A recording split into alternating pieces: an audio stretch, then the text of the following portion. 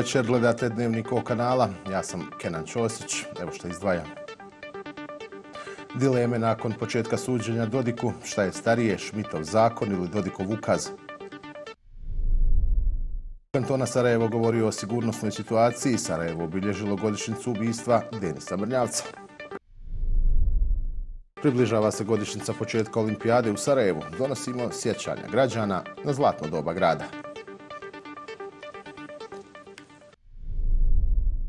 Puno dilema otvorili je jučerašnji formalni početak suđenja predsjedniku Republike Srpske Miloradu Dodiku. Jedna je svakako čitanje jedinstvene optužnice s obzirom da su procesi protiv Dodika i Miloša Lukića, vršioca dužnosti direktora službenog glasnika Republike Srpske, već ranije razdvojeni.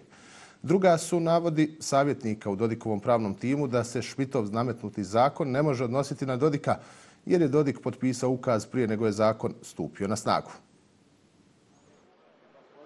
U sudnici ispred suda Bosne i Hercegovine blagorečeno predstava. Javni istupi visoko pozicionirano kadra SNSD-a i vladajuće koalicije iz Republike Srpske degutantni. Kada se izuzme taj politički performans sa pravnog aspekta, ostaje dosta nedoumica. Advokat Anton Obilo, član tima odbrane Milorada Dodika, smatra da je sudija Sena Uzunović, koja se u sudnici pojavila umjesto Mirsada Strike, u sudnicu došla pripremljena da nakon što pokrene postupak i da glavni pretres počne čitanjem optužnice Kako je naveo, ako postoji zajednička optužnica i dođe do razdvajanja postupka, optužnica mora biti dorađena i da opisuje samo jednog optuženika. Zahtjev odbrane je bio da se odloži pretres, obzirom da je jedan od učesnika bio bolestan, sud to nije dozvolio, razdvojio je postupak i onda je usledio novi zahtjev da se taj postupak spoji, ali sud to nije prihvatio. Tako da je to sve u okviru diskrecije e, odloživanja sudca koji postupa. Eh, odbrana izrazila nezadovoljstvo, ali će u žalbi moći izneti svoje razloge. U praksi se sačeka tih sedam dana, a zašto sudac nije sačekao, vidjet ćemo, smatra Vlado Adamović. Advokat Nobilo je kao glavni adut odbrane naveo da krivično dijelo koje je Schmidt kreirao objavljeno je na jedinom mjestu gdje se zakoni mogu objavljivati, a to je službeni list 7. jula. Sljedeći dan najranije može stupiti na snagu 8. a ukaz koji se stavlja na teret Miloradu Dodiku potpisan je 7. jula. Skaču sebi usta. Ako vjeruju da je Kristijan Špit vrhovni autoritet, niko ne može oživiti taj e, zakon. Dakle, radi se o kaznenom dijelu beznačajnom koje nema nikakve štetne posljedice. Advokat Vlado Adamović kaže da se Nobilo pozvao na podatak da se objavljuje i na službenoj internetskoj stranici Ureda visokog predstavnika, ali i službenom glasniku Bosne i Hercegovine. Upravo ta informacija da se objavljuje u službenom glasniku je odbrana Dodika vidjela kao argument, iako je Schmidt naveo da zakona snagu stupa 2. jula, dan nakon što je nametnuo izmjene. Istina u toj odluci piše da će odma biti objavljeni u službenom listu. I tu je kolega Dobilo našao razbomilaženje da li stupa na snagu i kad se objavi u službenom listu ili samo kad je na stranici, što je stvar pravnih tumačenja. Dokle, odbrana je iskoristila jedan uh, legitiman pristup izražavajući sumnju o momentu kad taj uh, zakon stupa na snagu. Sud će dati uh, e, svoje tumačenje i to će biti relevantno u tom momentu dok ne dođe do žalbenog postupka, onda će konačno drugostepeni sud dati svoje mišljenje. Umeđu vremenu Milorad Dodik je istakao da je mnogo onih koji danas likuju na tim što im je jedan stranac bez ikakvih stvarnih ovlašćenja obezbijedio da predsjednik Republike Srpske dođe na izmišljeno ročište u izmišljenom postupku. Posjećamo, tužilaštvo Bosne i Hercegovine podiglo je optužnicu protiv Dodika i direktora službenog glasnika Republike Srpske još u avgustu 2023. godine, a sud Bosne i Hercegovine potvrdio je u septembru. Suđenje je do sada tri puta odgađano zbog zahtjeva optuženika za izuzeće sudaca i tužilaca.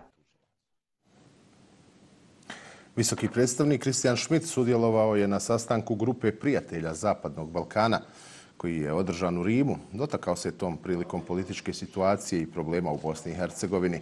Naveo je da će otvaranje pristupnih pregovora biti jedinstvena prilika za državu, te da je vraćanje povjerenja javnosti u izborni sistem hitan prioritet za vlast u BiH, kao i da je potrebno u kratkom roku provesti reforme s ciljem poboljšanja integriteta izbora. Zaključio je da institucije BiH moraju djelovati efikasno i u punom kapacitetu kako bi rješavale i druge prioritete, da bi BiH na proljeće mogla zvanično započeti pregovore o članstvu u Evropskoj uniji. Ministar odbrane Njemačke Boris Pistorius boravio je u zvaničnoj posjeti našoj zemlji, sastao se sa ministrom odbrane Zukanom Helezom i njegovim zamjenicima te poručio između ostalog da Njemačka želi spriječiti da Rusija dovede do dodatne krize u regiji. Helez je rekao da su razgovarali i o ispunjavanju reformi podršci Bosni i Hercegovini na putu ka NATO-u te paketu pomoći koji je odobren na samitu NATO-a u Madridu 2022. Njemačka je jedan od ključnih prijatelja Bosne i Hercegovine na spoljno-političkom planu. Također, Savezna republika Njemačka daje punu podršku Bosni i Hercegovini na putu ka Evropskoj uniji i NATO savezu. I na tome želim da se zahvalim i ministru i našim prijateljima iz Savezne republike Njemačke i na svemu onome dosad što su uradili za Bosnu i Hercegovinu i za oružane snage. Naše odnose smo značajno proširili i to uključuje inicijative za sanaciju, ali i bilateralni programi koji doprinose tome. Doprinosimo jačanju odgovarajućih kapaciteta vezano za logistiku, artiljeriju, eliminaciju viška municije, ali i pri učenju jezika. Od 2021. do ove godine ćemo ukupno investirati 14 miliona eura iz ovih sredstava u Bosnu i Hercegovinu i to su zaista važni signali. Uočavamo da postoje određene tenzije. Radi se o tome da moramo odlučiti na kom vjenčanju ćemo da plešemo. Ne možemo biti istovremeno na dva mjesta. Ukoliko želite u Evropsku uniju, to je dobro došlo i to trebate zajednički željeti kako biste to i postigli. Želimo spriječiti da Rusija dovede do dodatne krize, destabilizacije, da zlupotrijebi ovu zonu kako bi širila svoj uticaj, nadajući se da će na taj način destabilizirati Zapad. NATO i Evropska unija imaju jasan stav kada govorimo o agresivnom djelovanju Rusije. Najvažnije je da partnerstvo između NATO-a i Bosne i Hercegovine od 2006. teče vrlo uspješno.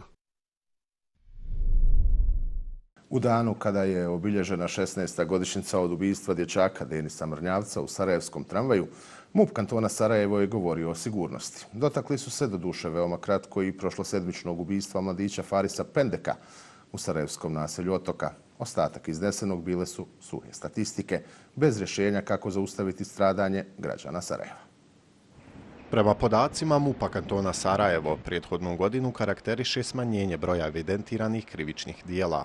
Ukupno u 2023. godini evidentirano je blizu 4000 krivičnih dijela. Drastično je povećan broj napada na policijski službenike i to čak za 50%. Povećan je broj saobraćajnih nesreća, a jedna od pozitivnih stavki je smanjenje broja maloljetnika koji vrše krivična dijela. Najveći problem i dalje su povratnici. Među njima je bilo gotovo 60% povratnika u vršenju krivičnih dijela. Tokom 2023. godine na području kantona Sarajevo imali smo četiri ubijstva, tri manje u odnosu na godinu ranije, te šest ubistava u pokušaju, tri manje u odnosu na 2022. godinu. Zanimljiv podatak je da je u prošloj godini najkradenije vozilo u kantonu Sarajevo bilo Golf 2. Ukradeno ih je čak 17 od ukupno 59 motornih vozila. Pronađeno i vraćeno njih 38. Kao i sve policijske agencije u našoj zemlji, MUP kantona Sarajevo ima problem sa nedostatkom kadrova. Nedostaje im oko 700 policijskih službenika. Načelnik Halilović prokomentarisao je posljednje ubistvo u kojem je stradao 19-godišnji Faris Pendek u Sarajevskom naselju Otoka. Mi smo po naredbi nadležnog suda izuzeli sve video nadzore užijeg i širijeg lica mjesta. I naš rad i dalje traje po tom djelu. Dok ne izvršimo sve detaljne provjere, ja u vezi toga dalje ništa ne mogu komentarsati. Uglavnom radimo na rasvetljavanju svih okolnosti tog događaja. A danas je obilježena i godišnjica ubijstva Denisa Mrnjavca. Njegovu majku, kao i većinu javnosti, još uvijek boli ovaj tragični događaj. Najteže im pada činjenica da se slabo radi na prevenciji, što je dokazala tragična smrt Farisa Pendeka. Nakon 16 godina i dalje nevjerica i tuga i i dalje, evo, ne mogu vjerovati da se to desilo i da se takve stvari i dalje dešavaju ovdje u ovom gradu.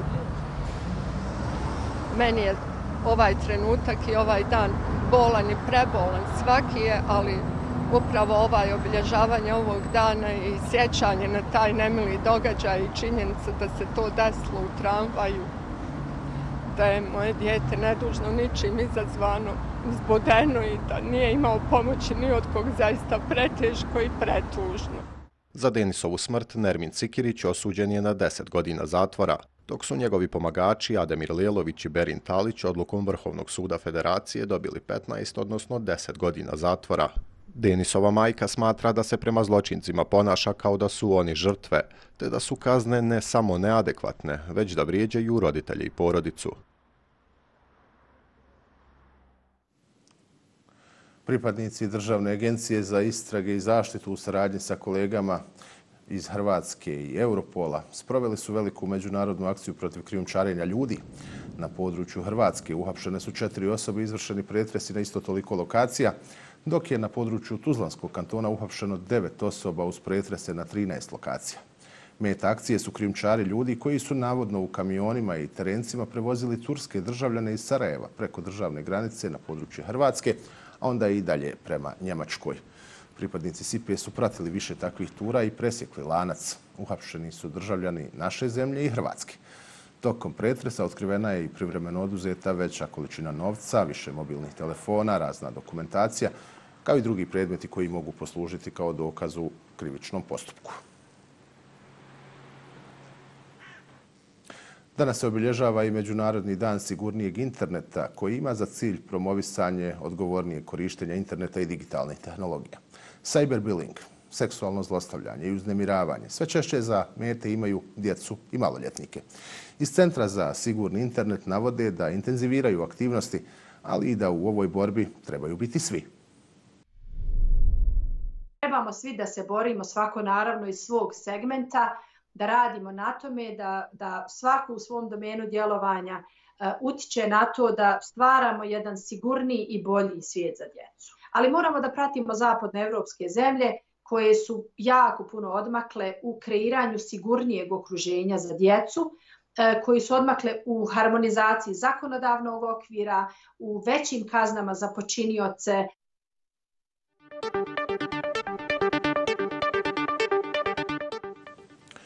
Šest osoba, uključujući tri policajca, ranjeno je u napadu ispred sudnice u Istanbulu. Napadači, muškarci i žena ubijeni su, a navedeno je da su bili pripadnici ljevičarske militantne grupe. Oni su zapucali na policijsku kontrolnu tačku ispred suda. Ministar unutrašnjih poslova Turske istakao je da se radi o terorističkom napadu, a ministar pravosuđa je rekao da su tužitelji otvorili istragu o napadu. Prošlog mjeseca maskirani napadači islamske države ubili su jednu osobu u crkvi u Istanbulu za vrijeme nedjeljne mise, a vlasti su nakon toga uhapsile nekoliko ljudi pod sumnjom da su povezani s tom grupom ili sa napadom.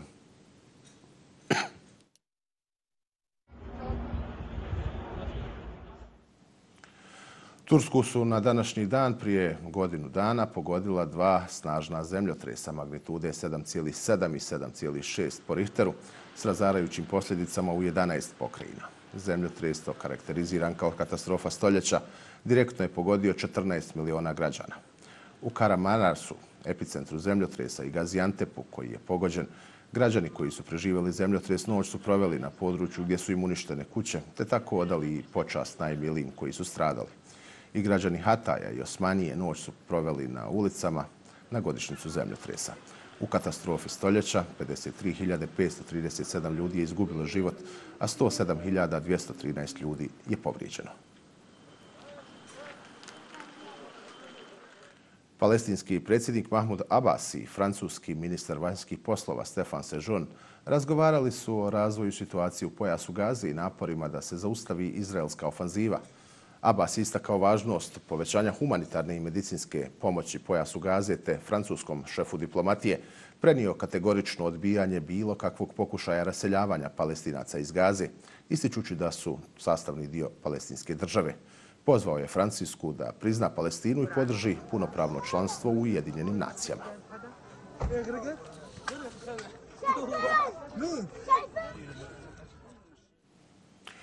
U Narodnoj skupštini Srbije održana je konstituirajuća sjednica na kojoj su potvrđeni mandati 250 narodnih zastupnika novog skupštinskog saziva. Početak sjednice obilježilo je negodovanje, pištaljke i transparenti zastupnika opozicijone liste Srbija protiv nasilja, a ubrzo nakon početka određena je pauza nakon čega je sjednica nastavljena. Dio zastupnika je položio i potpisao zakletvu u sali, dok je dio napustio zasjedanje i zakletvu položio u skupštinskom hodniku. Konstituisanjem Skupštine počeo je teći rok od 90 dana za formiranje nove vlade Srbije.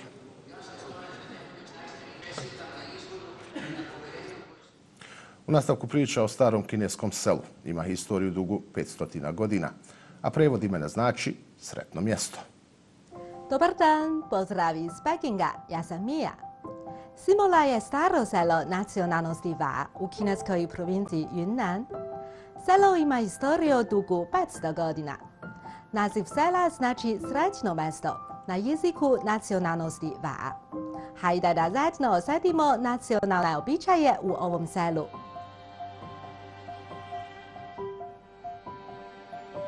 Čim uđem u selo Simola, mogu da osjetim običaje nacionalnosti Va. Ovdje su brojni turisti. Međutim, meštani su dugoročno živeli u sromaštvu zbog loših prirodnih uslova i nerazvijene infrastrukture. Nakon što se oslobodilo od sromaštva 2017. godine, selo je aktivno tražilo novi model razvoja. U potpunosti iskoristilo kulturne elemente nacionalnosti Va i lokalne karakteristike da unapredi selski turizam na osnovu tradicionalnog sela. Poljoprivrednik Li Fashun je tada otvorio radionicu za pravljenje pirinčanih kolača i kućnu gostionicu. Njegov život je sve boli. Danas selo Simola dobro napreduje. Lep selski pejzaž privlači mnoge posjedioce. Li Fashunova kućna gostionica je veoma popularna. Pirinčani kolač se nalazi na listi lokalnih jela koje se moraju obavezno probati. Ja sam Mija. Vidimo se.